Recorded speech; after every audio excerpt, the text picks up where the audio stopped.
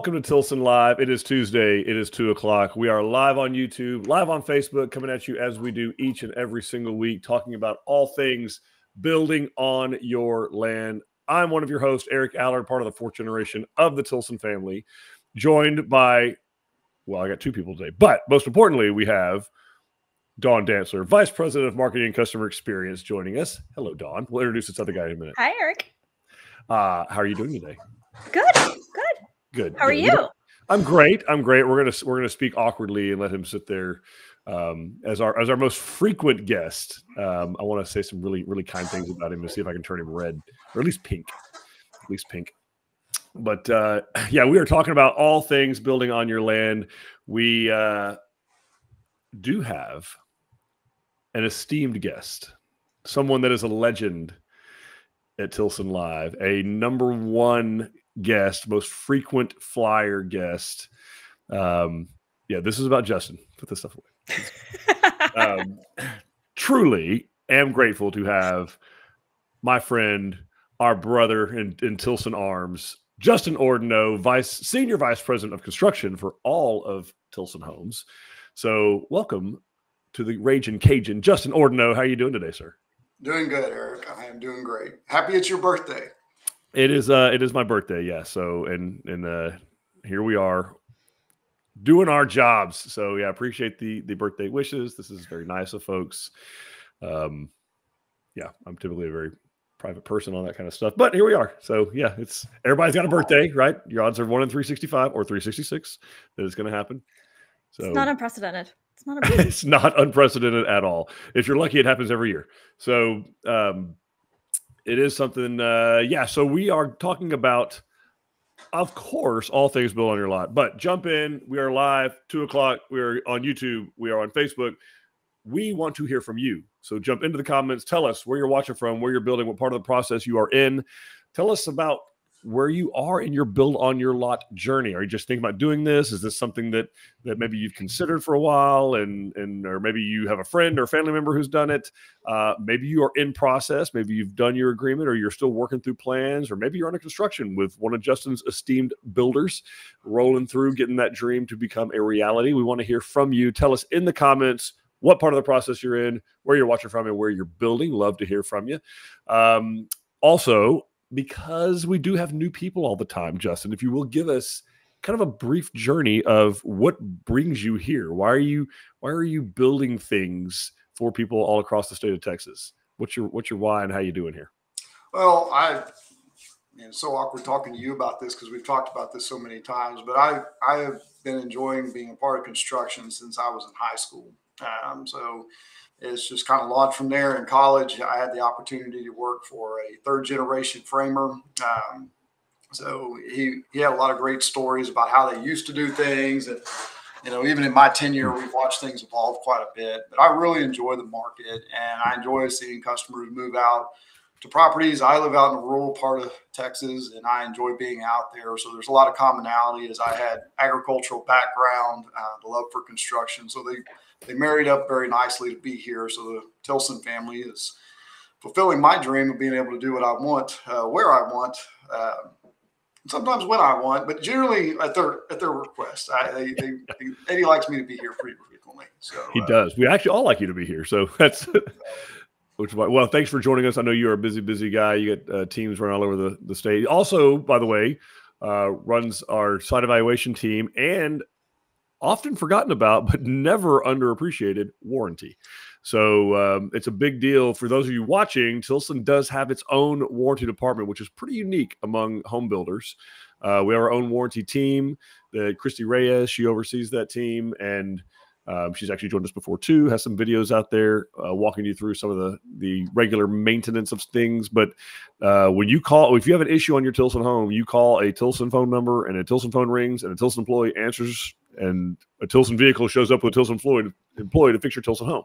It's not some third party contractor, unless it's, you know, we're not going to send our guy to go fix your AC. We're going to send the AC contractor. But uh, all that to say, we take pride in, in, our work and we take our customer service very seriously. And we don't want to leave it in the in the hands of somebody we don't know um, that's not mm-hmm. accountable to us. So Justin also runs that. I know that takes up sometimes a not a small amount of time for him.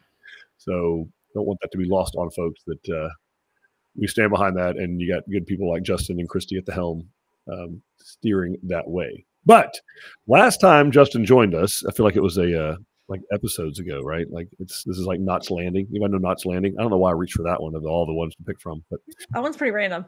I know it's a good one though. I don't know. I think that's a very grandparents type of show. But um, he we talked about foundations. So obviously, we can answer any questions y'all want to uh, about building on your lot, about site evaluation, about um, design, about some high level pricing, about financing, construction, warranty, what happens, all that kind of stuff. Um, we talked before again about foundations. This time, Justin is going to walk us through the framing. So the next part, once that foundation is laid, once that slab is down, um, what the next steps are, and a lot of the why we do what we do. So you know, you can buy sticks and bricks anywhere. We say that all the time. Um, there's reasons that we use the products and the methods that we do, and so Justin's going to walk us through some of those. Uh, after Dawn tells us who all is joining us today. But drop your questions into the chat. Again, want to hear where you're watching from, where you're building, what part of the process you're in, and any questions or comments you may have about anything related to home building or life. Justin's a great life coach. Um, so he's got he's got that up his sleeve too.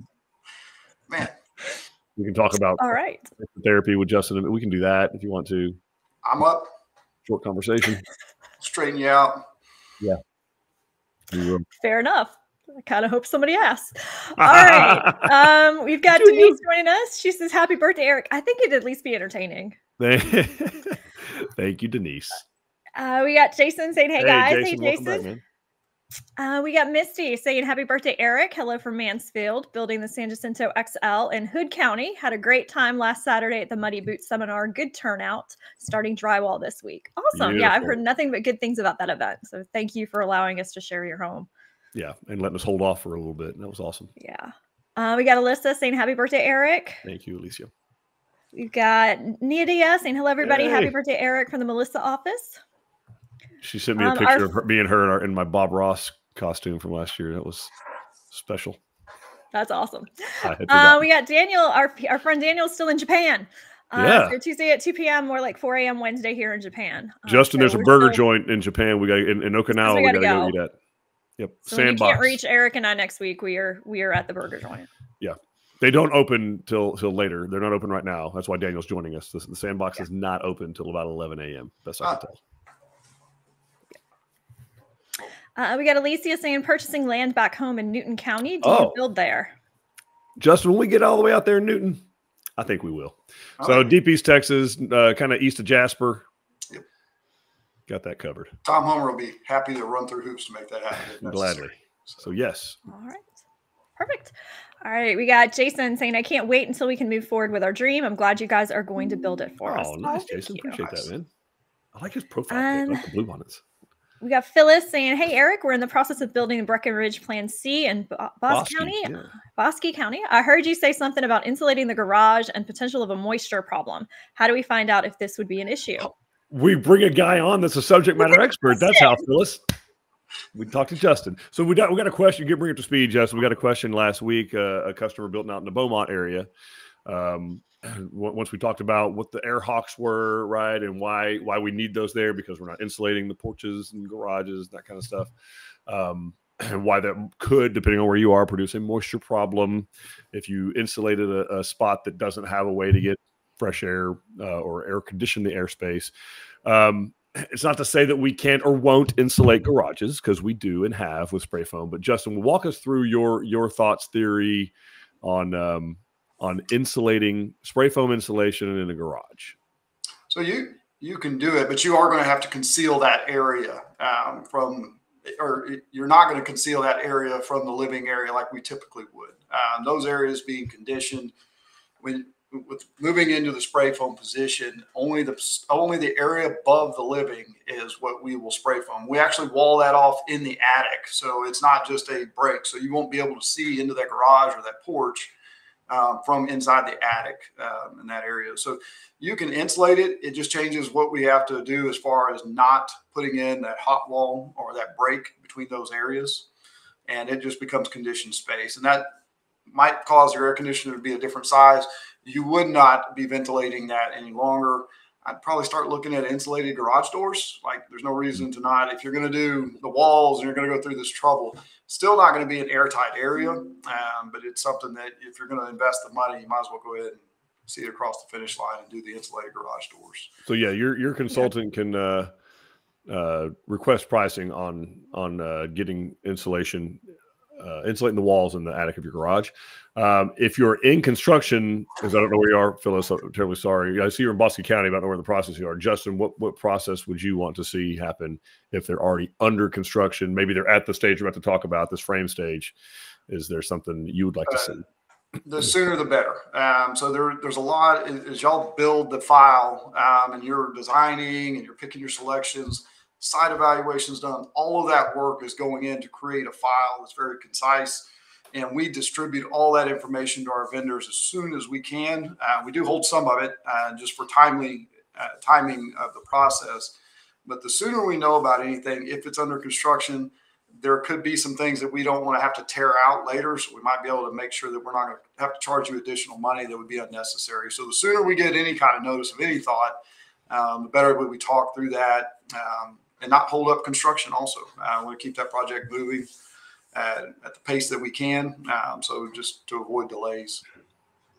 Very difficult to do after the sheetrock stage. It, it, yes, then, then we're it's a whole other conversation. That's right. Great question, though. Right. Awesome. Um, and Phyllis also says happy birthday. Thanks, Phyllis. We got Crystal saying happy birthday. Hey. Um, and also asking what price do homes start at in Brazoria County? All right. Well, we actually brought up pricing this time just in case someone asked, and they did.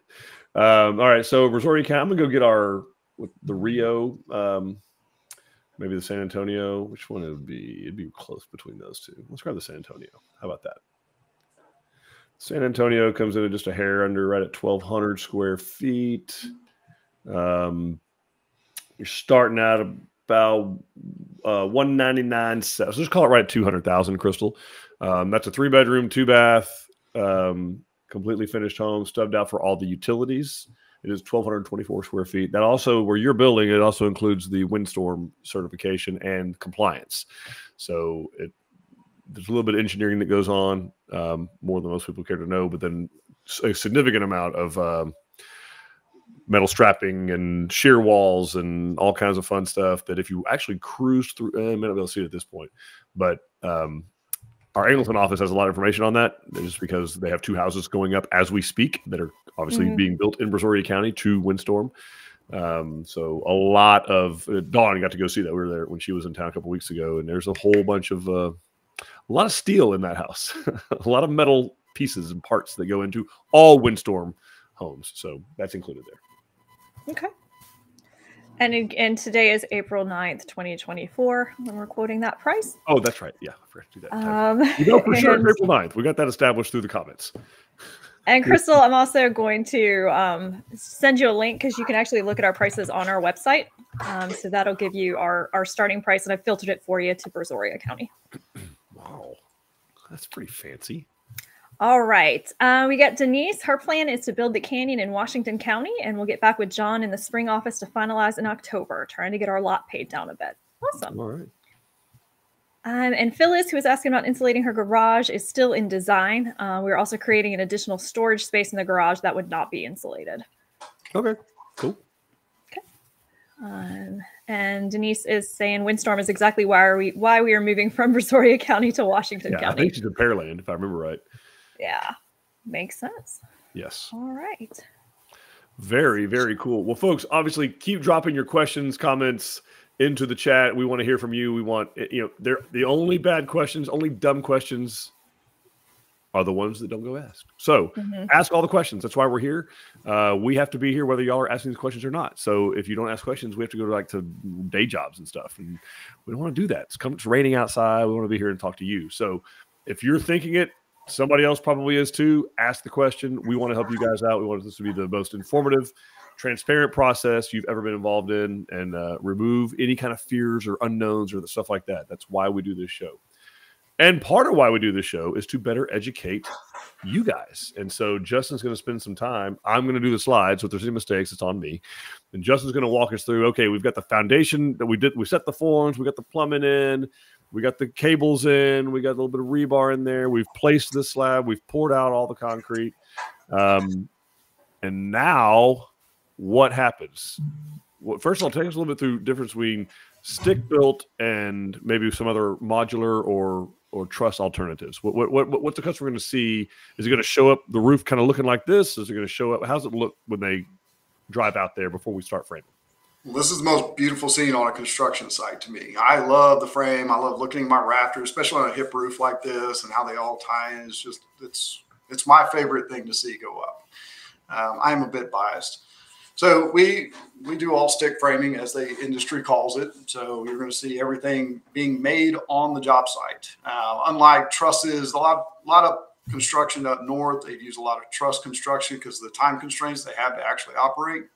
Uh, the winters are very harsh, whereas here we don't have that demand uh, or command for the weather that they do. Um, so the trusses are a great option. Uh, there's a lot of a lot of buildings are actually constructed in Texas with trusses, but when we start customizing that ability to order a truss package because they have to come out and order to accommodate the length of those trusses becomes a little bit more of a challenge. So we still believe that the best avenue is to go ahead and build everything on site as far as our frame goes. Um, so it is the most exciting part. It really brings the home to life. Um, and then it kind of gets boring for a little bit as we start getting into mechanicals, not to disrupt my electricians, plumbers, and HVAC guys, but they're kind of the kind of the things everybody enjoys, but nobody appreciates necessarily what goes into. But the frame uh, itself, the the sticks and bricks of the frame, we're asking everything of this. Uh, we're needing it to hold things up we need the frame to hold things down, and we also need it to hold from keeping things from blowing over. Um, so there's there's a lot of demand on the frame that we build. Um, the other thing is customers and fixed components design the house. Um, so if we have a, a bathtub that's going to go in a room, you can order some specialty things possibly that might be four foot, but your standard bathtub is going to be five foot. So when we're designing that house, it's got to be that exact measurement. Our framer has to execute that. Um, so, along with all the structural components, the framer is also making sure that the other contractors that will follow are set up for success. Uh, make sure everything's going to fit. Um, so that's and they're setting up. Uh, we're going to talk a little bit more about for the energy efficiency of that home. Um, so they really drive all the success for everybody else behind them at this point, just like our foundation contractor. Um, you know, one of the things I, I, wanted to tackle before we get into the actual sticks um, is the the conversation I hear uh, regularly about home needs to breathe, um, and that is 100% correct. But the the market and codes have kind of steered us in this direction um, that we need to have the most energy efficient home that we possibly can. So we're going to achieve that by getting all these components to work together. It's a systematic approach to making sure that everything's coordinated and working together and the framer is going to set the stage for that. Um, as far as the breathing of a home, I get this question and I ask people, how much does it need to breathe? And they're like, I don't know. I was just told it needs to breathe. And I'm in a complete agreement that the home does need to breathe. Um, but we don't need it to hyperventilate. If we're going to personify the structure, we're, we're going to say we don't want it hyperventilating. So what we're going to do is seal this thing up as tight as we possibly can.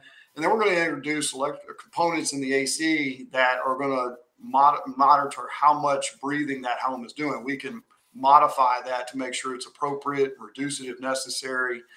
And we're going to get into that in subsequent videos or Facebook Lives as we go through that. Um, so, but the framer is going to set the stage actually for energy efficiency. Um, so, Dawn, why don't we hit the next slide? And I'm going to hit on this. Uh, we're going to talk about our walls first. And there's some other pictures. It's kind of hard to really pull all these together, but within our walls, one of the first things we'll do to start sealing, so this is why we do what we do here, we'll put down a layer of sill seal below our exterior toe plate.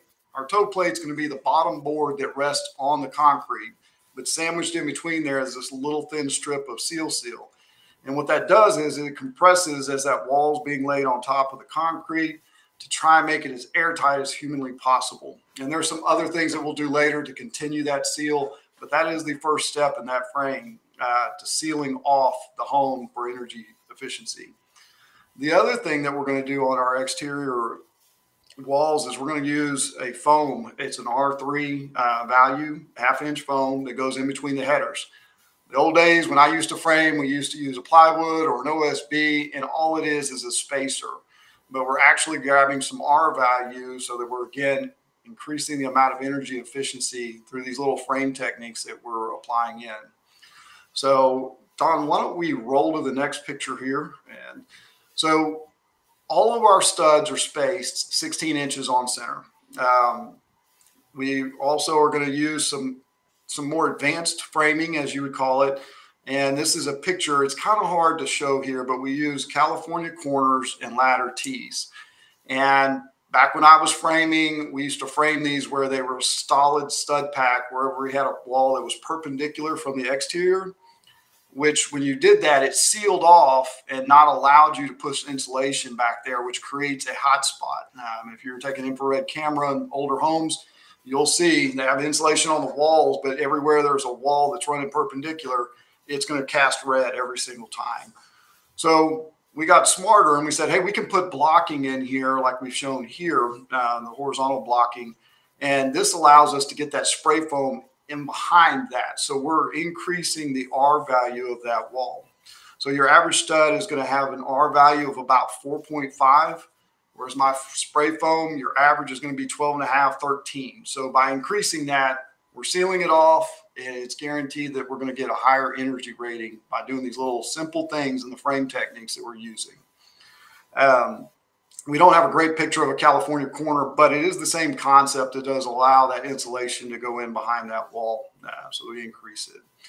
So the next picture that we have here, some other things that we're going to do. Again, I'm going to go back to we're setting the framer is setting the stage for success of the following contractors. So for the drywall guys, even our electricians and plumbers, we're going to come in here and we're going to start adding additional blocking. In this case, it is for the cabinets that are going to this kitchen.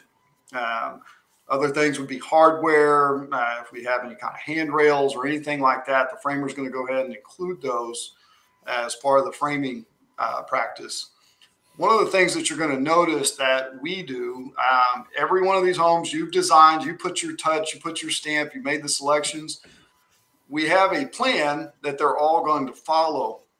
And a lot of times, as their trades are moving through, my builders are going to come through and they're going to take all those incremental measurements and they're going to make sure that everything's centered and that our stud spacing is appropriate so those components will fit inside that stud cavity. So here you can see a C. It's very vague on the screen, but there is a C. So he's dictating to the AC contractor where that vent pipe for that cooktop is going to go. So it's going to be very common that you're going to see these marks along with other marks all across the slab. It's directing traffic. It's how we communicate to the trade when we're not there on the job site. So they know exactly where to go, exactly where we've de dedicated that component to be placed. So, oh, Dawn, you're it's, it's, it's, me. I'm the one that's messing it up. I do. Oh, Eric, quit messing me up. I know it's your birthday, but you can't make mistakes on your birthday. It's true. That's yes. true. So within the walls, those are the things that we're going to do to make sure that we're again trying to maximize the energy efficiency at home. We will never sacrifice structure for energy efficiency. Uh, structure's got to come first. So it has to perform the uplift, the down, and then it also has to be able to protect us from shear. The other thing, once we get our walls up, now we're going to move into our rafters. And what you're going to see in this picture is our rafter spacing and our joist spacing is 19.2. So the decision around 19.2 uh, with the spray foam is, again, an R value of a 2 by is going to be very minimal compared to that of spray foam. So we've kind of split the difference. You will see some builders that are spanning 24 inches. Some builders are going to go out there and they're spanning 16. Neither is wrong I like the happy media of a 19.2 because it kind of guarantees that I'm not going to see the ripples in the roof. And it also allows me to insulate more of that area between those, which again, maximizing my R value out of my spray foam there. So the the R values that we're going to gain from there. Now, I was hoping that this picture, and I forgot, but we were sealing off from that question about the garage, but I don't have that here. So I thought I might find an area where I could show that. Unfortunately, I don't have it. We'll have to address that somewhere else. But you could describe. So basically, where where the mouse cursor is uh, here. Um, it, let's say this was the garage over here, for example. What you're sure. saying is there'd be a piece of Tyvek, perhaps, or something, a partition of some sort that is vertical here in the actual attic itself. Yes, and that area would be sealed off completely separate, no insulation there. We do have to vent it because we need that heat to escape. Uh, we can't allow it to get trapped in there because other things start to happen that aren't good then. But if we were going to foam that, you would just leave it just as is and you spray your foam and you move down the road and it becomes conditioned space. Beautiful. Well, Dawn, you want to pause for a second? We've got a couple of questions that have popped up. Um, sure. And then we can roll through the, the rest of the presentation. It's it still makes you big. I don't know. It didn't make me big. Bad habits made me big. That's got nothing to do with the PowerPoint. All right, we've got Bruce who's sharing getting started on our custom one of a kind Angelina and the Cliffs oh. Resort on Possum Kingdom Lake. Ooh, beautiful. It's a beautiful area. I want to see pictures, Bruce. Send us pictures. Yeah. Um, we've got Kim saying, "Can you tell us what the siding is for the Canyon C?" Okay, so Justin, we got what are the different types of it's all James Hardie product. We're using a Hardie plank.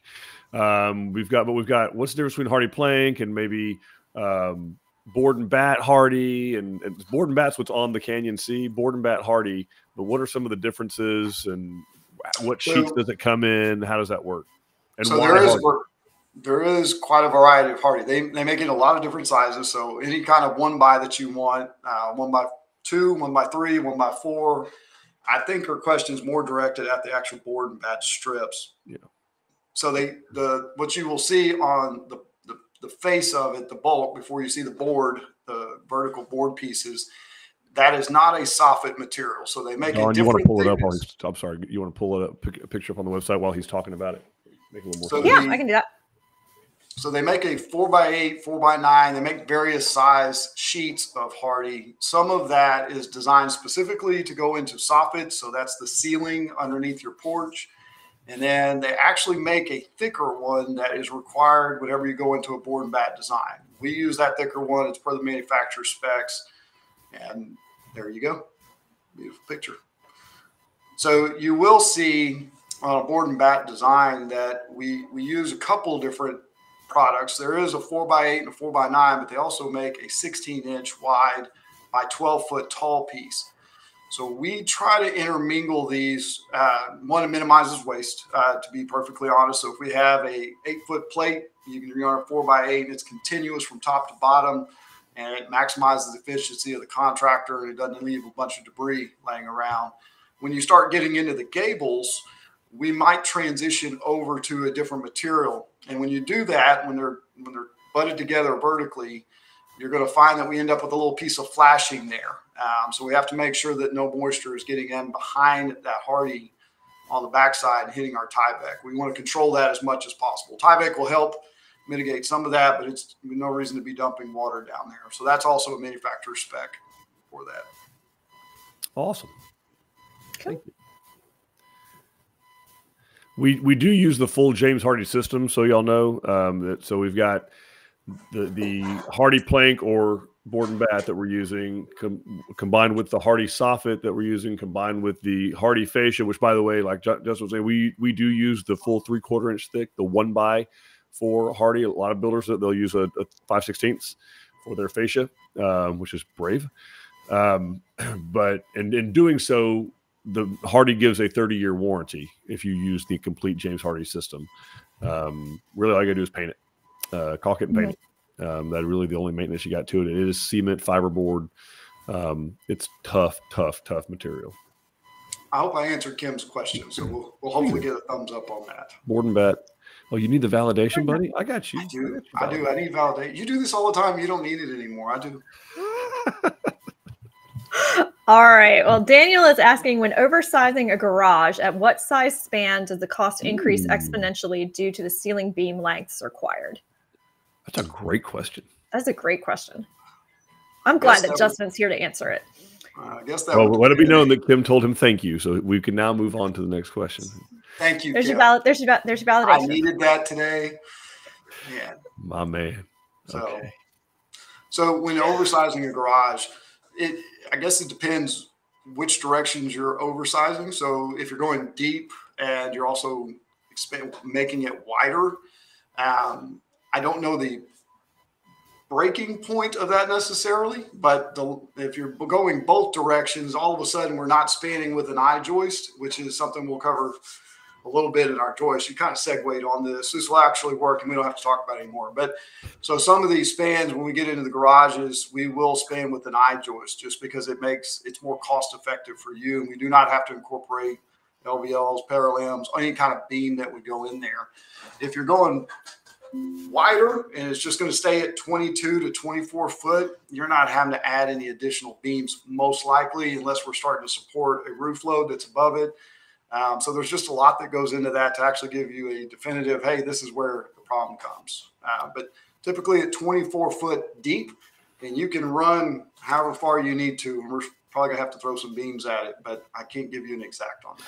Yeah, and you use the word exponentially. So we're going to be able to to uh, really accomplish almost anything with engineered wood product of some sort, like like Justin was saying, uh, which whether that's an LVL, whether that's I beams, whether that's um, Parallams, like he's saying, like which is just engineered wood product. It's product that's designed to it's made it's manufactured in a factory and it is designed to carry a large load over a big span.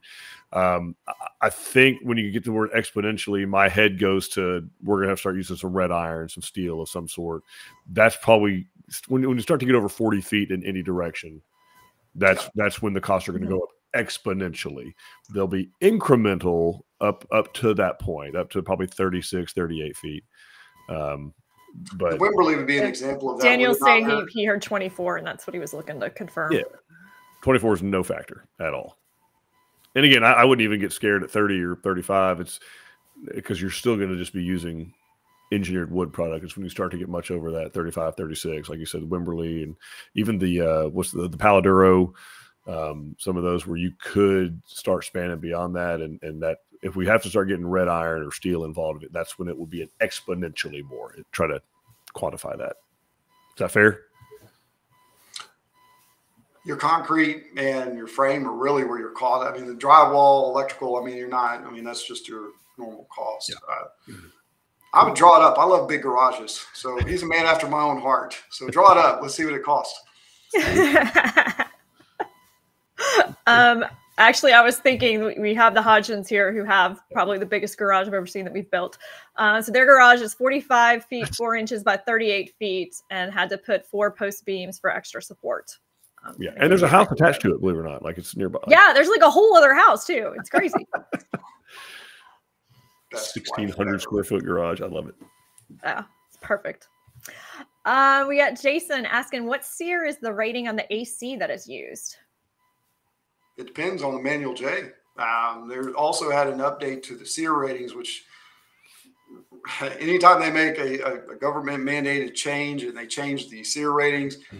uh, it sends everybody into a tizzy. Uh, but we we're compliant with that. But our SEER rating is 16, I believe, generally on most of our units, unless that manual J would come back for some reason and require something.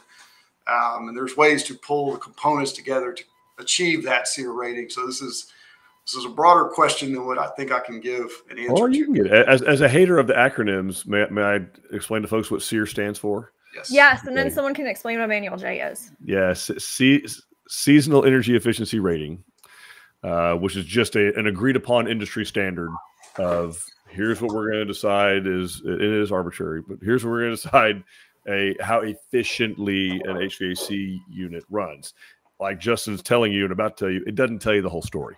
So, but but 16 SEER equipment is kind of our our base spec or specification, and then it could go up from there. But my example I use, and you'll probably have a better one, is kind of the, the horsepower at the flywheel of an engine versus the horsepower at the rear wheels. Right, you lose some of that power as it goes through the drive shaft and to the rear end of the car, and then to the actual tire. So you, if they're advertising you have 420 horsepower, maybe you do at the where the at the very back of the engine, but by the time it gets to the rear tires, maybe it's 360, 365. SEER is no different. Um, and what we have to do, ours is an achieved number, right? We have to achieve a SEER rating. And when we, how do we, what, what do we do with the equipment? What, what's a matched system? What, uh, what's the science that goes behind that a little bit?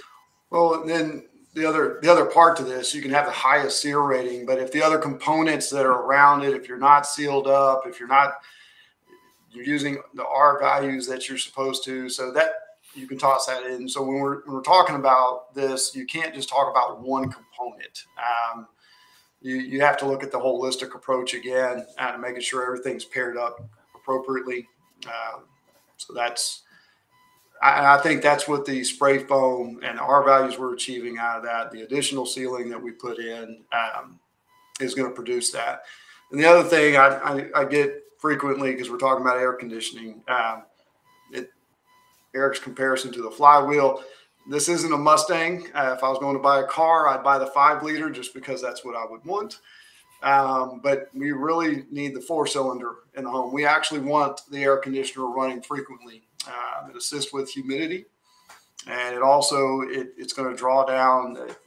every time that motor is starting up, we start getting into some conditions called short cycles. Uh, that can create some other issues on the other side of the house. So it's important that we pair all of this together um, and not just start grabbing things just because they're more efficient. Doesn't mean they're necessarily going to perform the best in your home. So, Dawn, explain to what a manual J is. Or you want me to explain? That's not fair. Okay. so a manual J guys, um, guys is it's it's basically a software system where we input all of the information about your house. So we're looking at the square footage, the direction it's facing, how much of your exterior wall is window, um, what is the house made out of, where is it, um, all of those kinds of things to actually calculate what you need in your HVAC system specifically for your home. So that's what um, Justin was referring to when he said, "Hey, it's, it's going to be whatever SEER the manual J says.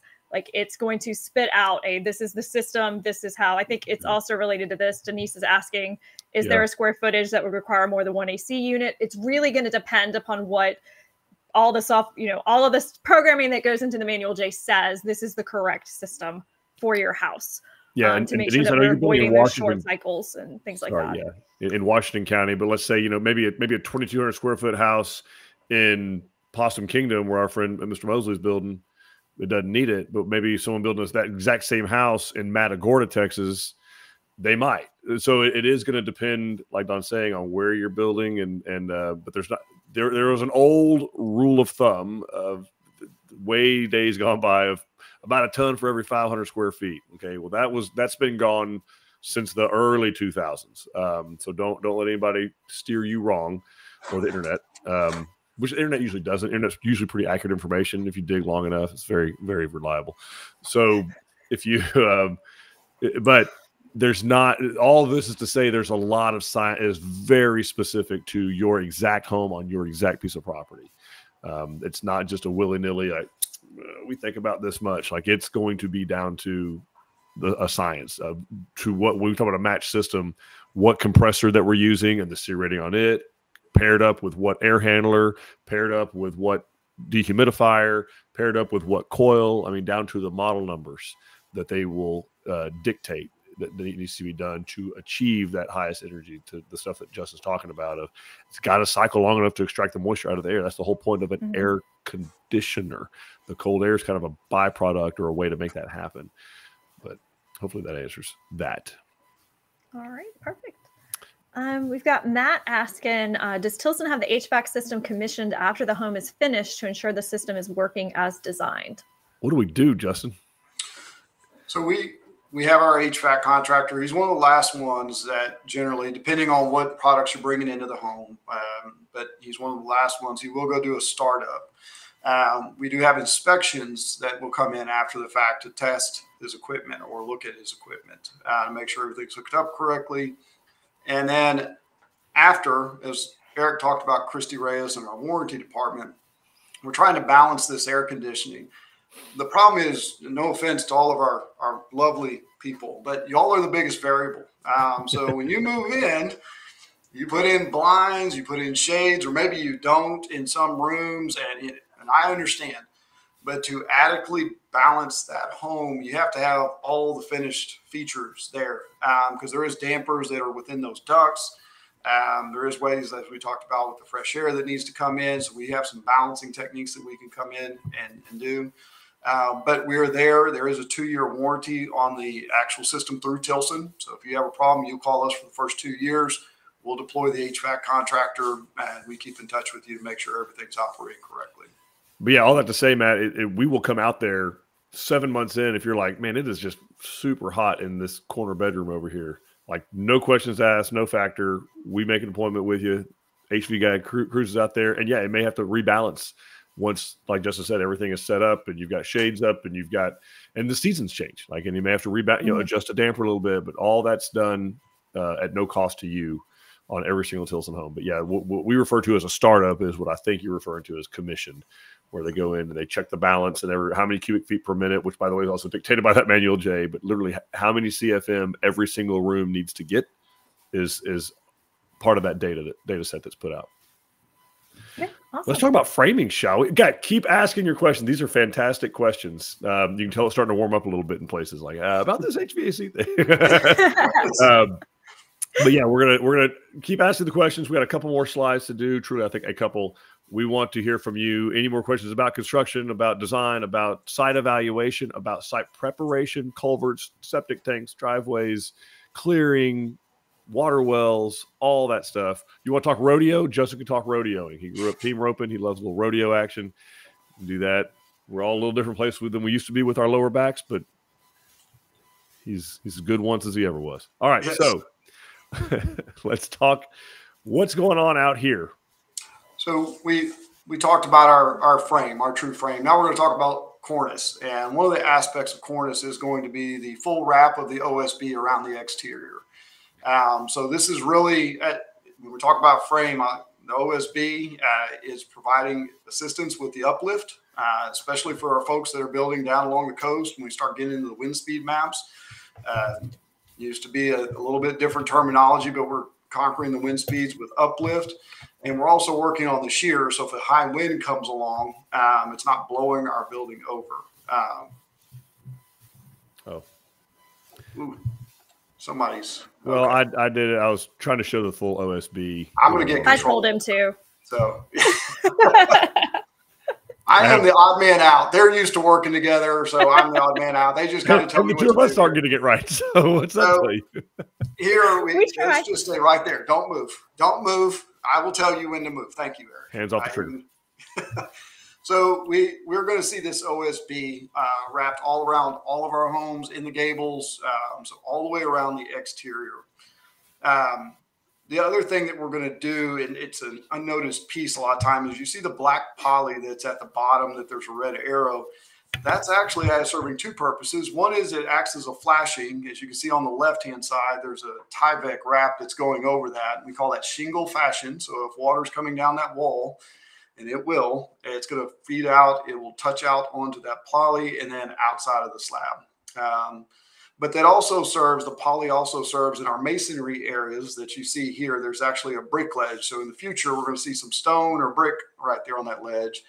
It also allows the expansion and contraction of the brick or masonry uh, to separate from the concrete because those two materials, they're going to expand and contract at different rates. And so by not having this, you could have on that outside corner what we call a shovel crack or a corner crack. So it's serving a couple of purposes that we have there. And then in our next slide, please. Thank you. Um, we can see a little bit more. we can see a little bit more here. So we do use Tyvek on all of our homes. Um, it keeps the air and the water uh, out from in the inside, but it also allows uh, water vapor to come from the out those walls. So it's basically ensuring that that OSB is going to stay dry so that we don't have any problems there. Um, the other part in this picture, we're starting to see this evolve now. The, the outside trim carpenter, if you will, the cornice guy, he's putting in that siding. Um, so everything is Hardie. Um, so we you will see that all through the outside, except the little cedar accents, or if you have a vinyl or a cedar shutter or something of that nature, everything else is going to be Hardie. Um, we've enjoyed that product for 25 years, I think. It spanned, it dates me. I've been here 18, and I know we've been using it since the first day I showed up. Um, and then the last component to framing that we're going to see is our roof deck. And we've got this covered up. It's the same OSB material. Um, so we're not using the TechShield any longer. Now that we're in a spray foam, we're going into a straight OSB at 7 16ths. And then we come back with this black Rhino liner that's manufactured by Owens Corning. It's part of their system, just like Eric talked about the Hardie system, and we use all of it. There's a warranty there. By using OC's underlayment or the Rhino liner, um, we're able to have the warranty that's associated with the shingles, and I make sure that everything's paired up correctly on our frame here. Beautiful. Beautiful. So the last thing is the windows and doors our guys are going to install this when we start talking about components and how this is put together. So we caulk our windows to make sure that they're sealed up. Again, minimizing as much air infiltration as humanly possible. Um, we also are going to tape the jambs Uh, we caulk jambs tape the windows, also make sure that water's not going to infiltrate the home. So there's a lot of things that have to come together by this contractor to make sure that everybody else is successful. And at the end, you have a home that is sealed as tight as humanly possible. Love it. Wonderful. Love it. So there's method to the madness. You're saying method. There's the there's a lot that goes into the frame. Okay. Well, let's let's talk questions. So, uh, guys, I know that that obviously we've been talking framing, and that's obviously a critical component to what we do, and there's some whys in there. Uh, if you got questions about that, we'd love to hear it. But all questions relating to build on your land right now, this is the time we want to hear from you. So, what's going on? All right, we've got Juan saying, "Hello, Tilson team. Do you build in inner city Houston? And if not, are there future plans?" Take us through Take us back in time, Justin. I should have asked you first. I always let you get me with questions. Hey, I, you're the guest. If you want me to answer, you know that I, will I'll be glad to talk. But my answer will be a lot shorter. We still it, no. We, we, do not. Um, it it really got interesting after Harvey. They they made some pretty rapid decisions uh, when we moved the 500 year floodplain into the requirements of the 100 year floodplain. You're seeing a lot of builders that are utilizing crawl spaces. You started seeing them lift existing homes um, to get out of that floodplain. And the permitting um, became very interesting at that point.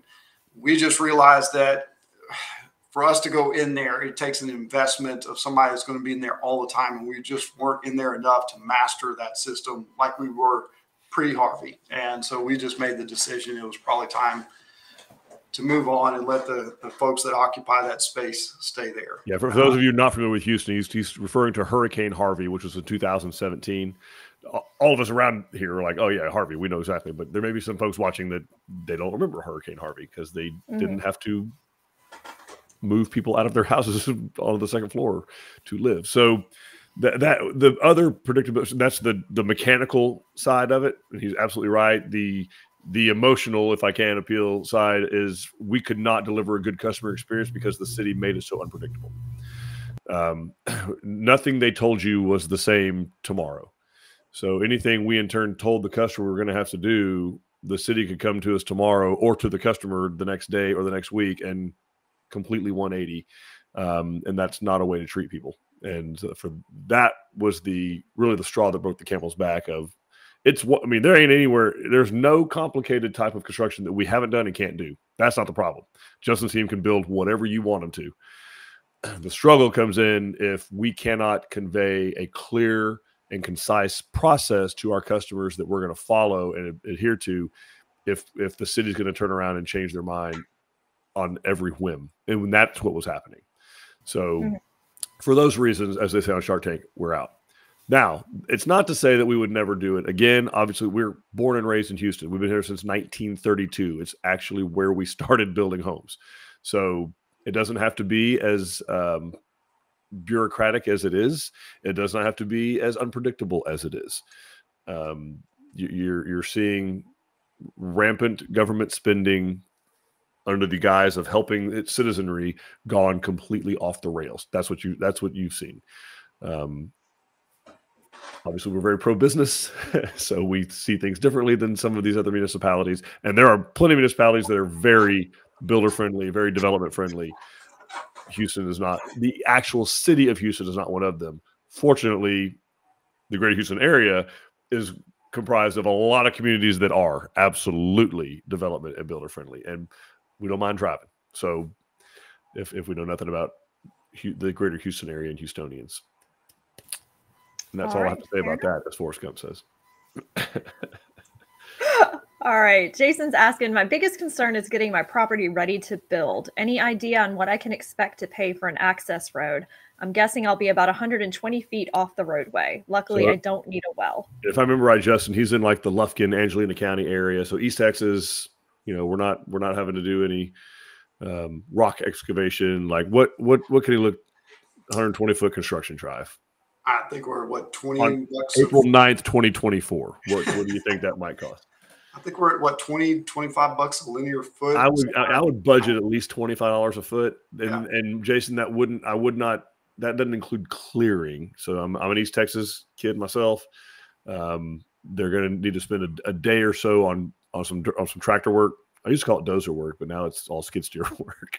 Um, but they're gonna knock the trees down, right, Justin? Take the roots out, and then come in. So that and that would be what like four inch thick crushed rock of some sort on some type of a usually a clay base, twelve feet wide, with swales on both sides. Like it's it's a properly done crowned.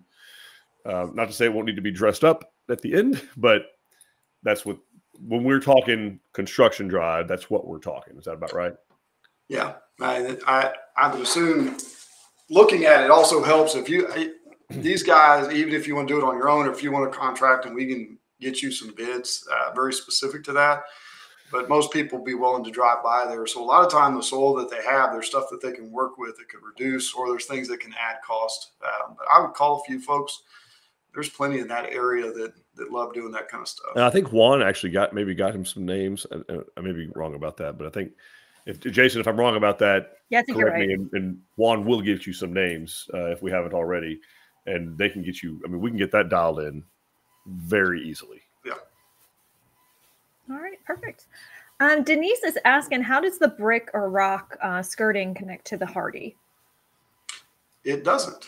Um, oh. So it's so it will transition, uh, but there's not actually a mechanical fastener that secures brick or stone to the Hardie. Um, so it'll butt up right next to it, but the masonry is secured with brick ties. So we will actually take a nail. It's a little, it's kind of a ribbed flat piece of metal. I'm trying to find a way to articulate that. And you are able to bend it. We'll nail that into the stud and then it's L-shaped at that point and it'll squeeze between the uh, mortar joints of either the brick or the stone. And once it's cured, it has some ribs in it, so you can't move that stone in or out. Um, but then the Hardie will have a what uh, it's a wainscot piece that comes in so that diverts that moisture or that water from rain over the Hardie and then beyond the masonry. Um, so I asked her to pull this up so you can kind of see where, where we're talking about, yeah. where we think she's talking about.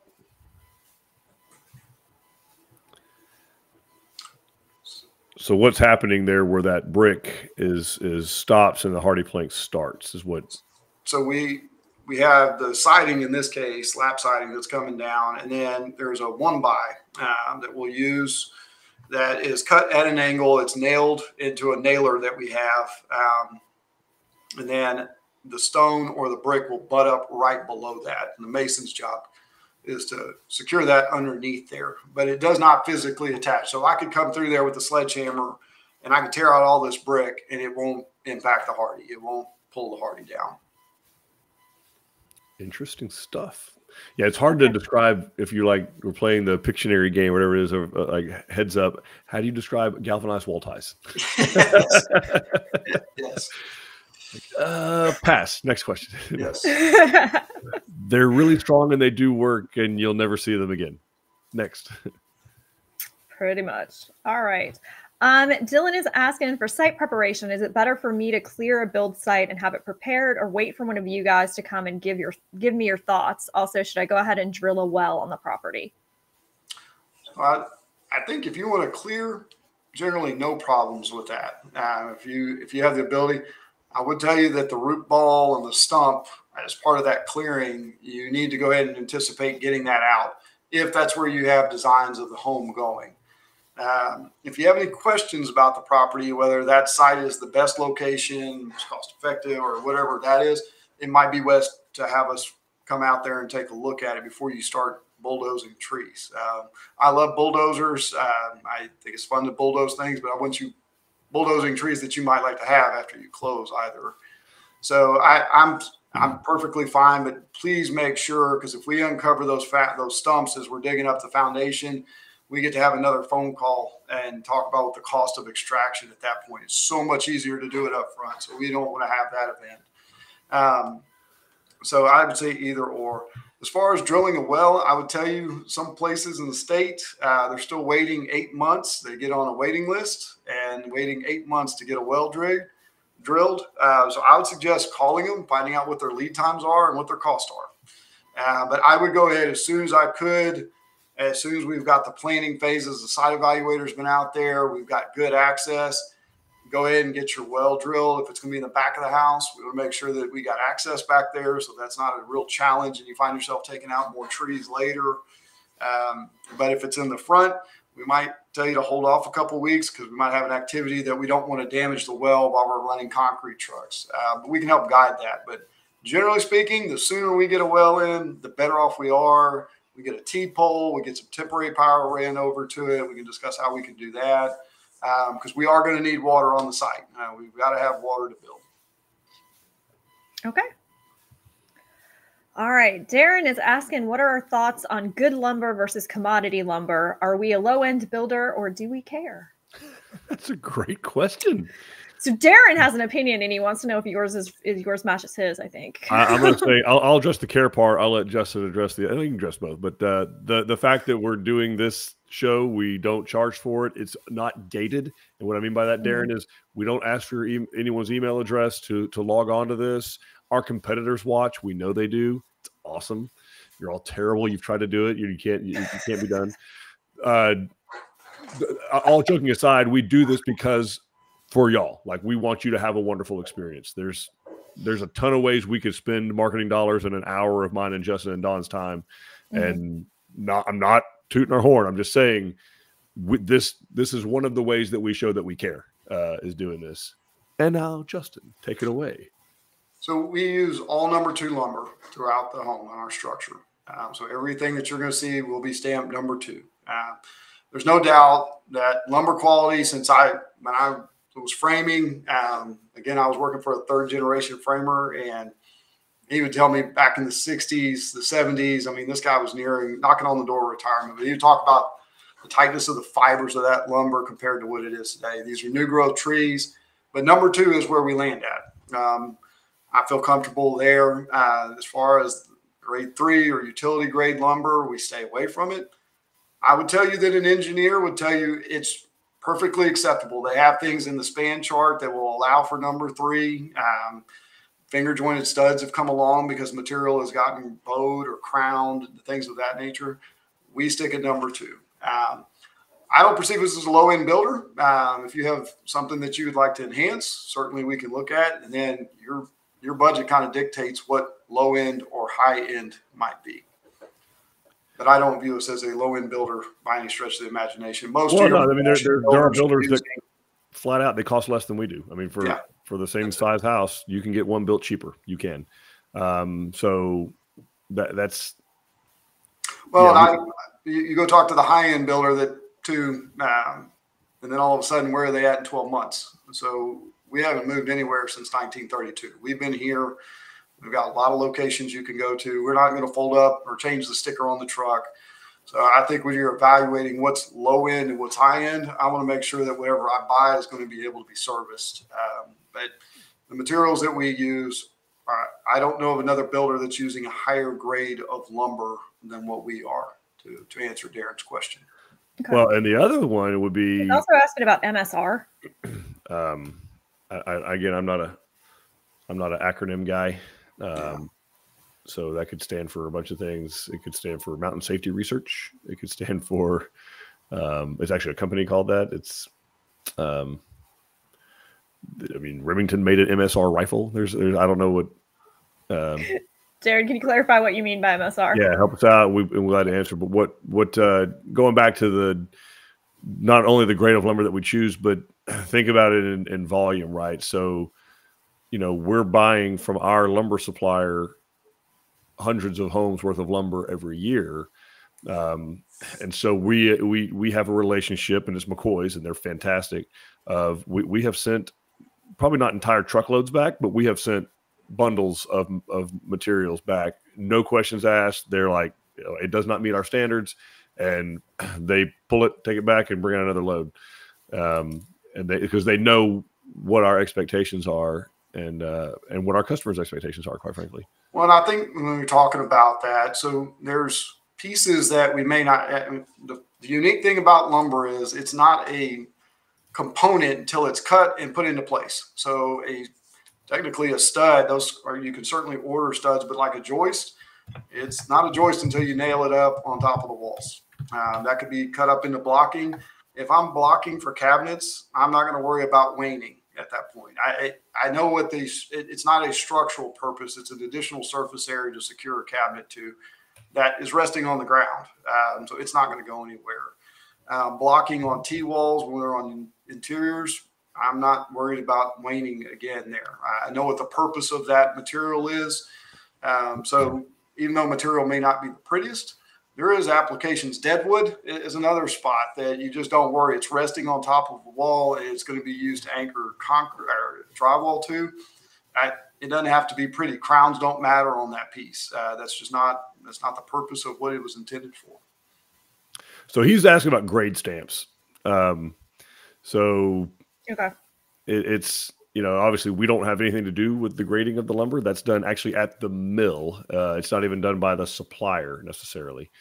So that's done by you know some of the big mills, Georgia Pacific, Louisiana Pacific, Boise Cascade. I mean, there's there's I used to say there's a bunch. There's not as many as there used to be, but um, the the grading is done there, and, and MEL versus MSR is getting into tensions and you know strength and tensioning and bending and stiffness.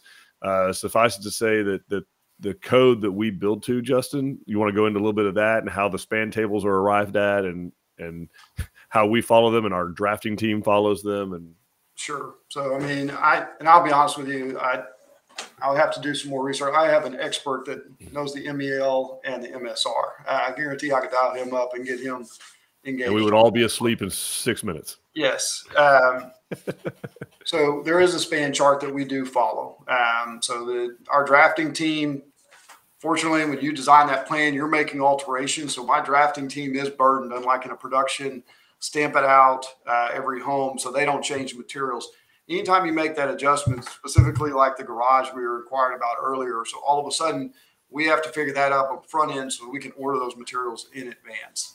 Um, so all of those span charts, uh, and we do send our plans off uh, when we start incorporating beams. They go off to our engineer.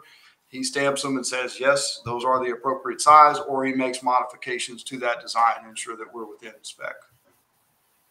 Yeah, and and so he's he's asking about a specific uh, line of that Weyerhaeuser, who's one of our largest um, suppliers, uh, but we mainly for engineered wood product. Um, so the Weyerhaeuser Framer series is not one that we presently use, but it's not to say that we couldn't price that out if you wanted to have that done. Um, and you're right; each city does have build has has building codes. They don't vary that much on frame. Um, in fact, yeah. J- Justin would be he would speak to that. They don't nothing compared to like wind speed rating versus conventional that's not wind speed in Texas for Texas Department of Insurance. But beyond that, there's not a lot of difference in building codes from city to city in Texas. Um, and so, you know, suffice to say, that's why we inspect the homes. Um, they do have to be built to code. That is, the city's easy, really, because um, not only we're going to have our own third party inspectors, but you got the city has inspectors. Um, most of them are pretty good. and then, uh, but in the counties where you're building unincorporated areas of Texas, there is nobody to enforce the law, which is a, there is a building code for Texas. It's in our state constitution. But Um, we hire third party inspectors for those specifically so because we're humans so we want to know um, and it gives you peace of mind as a buyer to know that the home's being built correctly and if if something doesn't span correctly it's going to get red tagged um, that's why we mm-hmm. hire them to do that does that make hopefully that makes sense yeah. well that's why you incorporate in some of those spans you'll incorporate and move away from traditional lumber into an I joist uh, or some other method of suspending that that joist in the air. So, yeah, we was bringing up about the uh, less lumber is that's what Justin was talking a while ago about 24 inch, for example. The code allows for 24 inch span walls, um, ceiling framing, attic framing. It allows for 24 inch, and there's benefits to that in that you can get more insulation. Like Justin was saying, a, a two by four or two by six or two by eight or whatever is a not as good of an insulator as five and a half inches of spray foam or five and a half inches of batt insulation. Um, but the there's a there's a cost to that, and that cost is structure. Um, and so we've opted for the 19.2 inch on center joist and rafters, 16 inch on center walls, interior and exterior. That's our happy medium. Um, I know some very good builders that use 24 inch on center. Nothing wrong with that either. Um, some of them use it on two by sixes, um, so they can they can have a little bit more structure to them. It's it's there are there is not a one prescribed way you must frame a home. There's well, that's a, why the span chart exists, and I, I think Darren's trying to trying to ask questions here about how we utilize that span chart. I believe is where he's headed, but each of those spans that we have is dedicated to making sure that it is the correct load capacity, whether it's a live load or a dead load. Um, so I I'm not having issues with my my frame spans at this point. So I don't, and they also update that span chart as well, um, so it does change. All right, perfect. Great questions, Darren. All Thanks right. for reaching out. Um, yeah, um, Phyllis is asking: Are the sidewalks on front of the home and to the side entry of the garage area included, or is that an upgrade that we need to ask for? Any idea of approximate cost? So if you're looking at the pricing that that Dawn's put on our website by county, uh, plan by county, the pricing is not included for uh, side for flat work, which would be sidewalks, driveways, that kind of thing, with the exception of a few. Oh, well, none, none of the county stuff, but in some of the cities and subdivision we build in, we do include a certain amount of flat work and driveway that's required by those cities and those subdivisions. Um, and then approximate cost, Justin, you got a you got a cost these days on flat work uh, Eric, it is all over the map. I, I would be reluctant. I, I, really feel like we could get an accurate price um, for them at the desk. Um, I, I, would hate to give a range here because we are still seeing concrete uh, go up in cost. I just got noticed uh, yesterday. I forget which company it was, but we're still seeing increases there. And I'll be honest with you, labor rates are, are quite a bit different as you move across the state. Um, and even sometimes even just a county over can make a difference. Well, that sounds insane. Um, but we do see fluctuation in cost as far as that goes. Yeah, Phyllis, I, I would start your budget about seven to seven dollars and fifty cents per square foot and go up from there probably. Yeah. Um, we've got Nick saying shout out to the Melissa Tilson team. We are building Angelina A in Lone Oak, Hunt County. Uh, we had our stakeout, construction drive, water meter, and electrical poles being installed these next two weeks. Thanks for today. Awesome. Glad to hear that. Thanks, Nick. Thanks for sharing that. All right. And Jamie is saying building an Angelina B. The slab was poured yesterday. Very excited. Tilson has been amazing. Awesome. Thank you for sharing that. What a timely presentation we did for Jamie. Yeah. Man, she's all ready to go for, you know, the next week or two. All right. So folks, so we know it's a little bit past. Uh Darren did give us he gave us a nod. We did a we did okay. Uh skating our span tables. Um, but all that to say, yeah, we I mean, we love these questions, guys. We love going deep with you guys on um on how and why we do the things that we do. So thank you for joining us. Um, mm-hmm. Justin, especially thank you for taking time out of your day to do this, man. I know you got a lot going on. And as, as my, my, my country mom would say, busier than a one arm paper hanger with the itch. That's pretty busy, by the way, if you picture that for just a moment. Um, because we do hang paper now, a little wallpaper action. Justin's excited about that uh, from time to time all that to say, yeah, we we have. Uh, but the good news is, doesn't have to end here, right? I mean, we've got tons of places that y'all can engage with us. We got 12 design centers, all that have model homes. We're open seven days a week. Um, so we got that going on. We got a website, award-winning website, open 24/7. We got a Facebook page that you can engage with us and other people in the community that are doing what you're doing or have done what you're thinking about doing. Um, excuse me. We got a YouTube channel that's got hundreds of hours of of data of of um, content is what I was looking for. It doesn't have data. I guess I got some data, but it's got There's some data. Yeah. Mainly got content about all these very things uh, that, that go into this whole process. So you don't sit there and wonder what happens next or wonder why we're doing what we're doing. Uh, we got new home specialists on standby. You can call, text, email with them. Uh, help set you up an appointment with one of our design centers. We also have seminars going on. We do. We have two in person seminars this weekend one in Boerne and one in Waco. Um, so head on out to those, and you get to sit with other people who are the same same part of the process and kind of ask your questions, hear their questions, uh, learn more about them. And then we also on April 20th are going to have our Behind the Sheetrock event in Angleton. Ayo. So we have two models under construction there, and this is your chance to come and see everything that's happening before we put up the sheetrock. So you can actually see all of this framing and those mechanicals that uh, Justin alluded to um, in person and see exactly what it looks like before we put the pretty stuff up because the quality is really behind that sheetrock, guys, and that's what you want to be looking at. Um, you know when you are evaluating. And I think if if I understood Richard correctly, he's going to have one model that is spray foamed, so you you'll see what it looks like after it's spray foam, and one of them that the mechanicals and studs and everything are still fully exposed, so that you can mm-hmm. kind of see before and after. Justin's smiling about that. That's a smirk on the face. well, smirk. I just know Richard. He uh, he was probably told, "Hey, get one at spray foam and then hold the other one." Richard's not one to sit still, so. Uh,